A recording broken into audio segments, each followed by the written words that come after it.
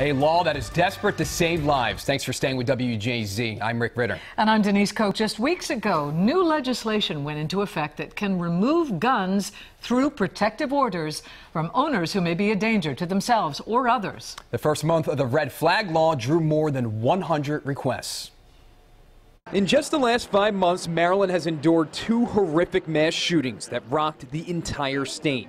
Uh, so so we're all just torn up about it. One at the Capital Gazette that left five people dead, and another at a Rite Aid warehouse in Harford County that left four dead. In both heinous acts, police said there were obvious signs the suspects were battling a mental illness. We don't have a crystal ball to know if this had been enacted, if it would have prevented the tragedy at the Gazette.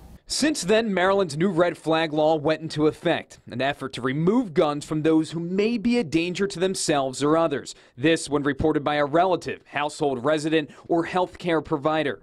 According to our media partner, the Baltimore Sun, of the 114 requests for just October, 61 interim orders and 70 temporary orders were granted by judges, requiring individuals to surrender firearms for several days until a final hearing. Going forward in Maryland, this piece of legislation will save lives. Just this month, it was a deadly beginning to the law when Anne Arundel County Police attempted to enforce it in a Ferndale neighborhood. That man met officers with a handgun and ended up being shot and killed.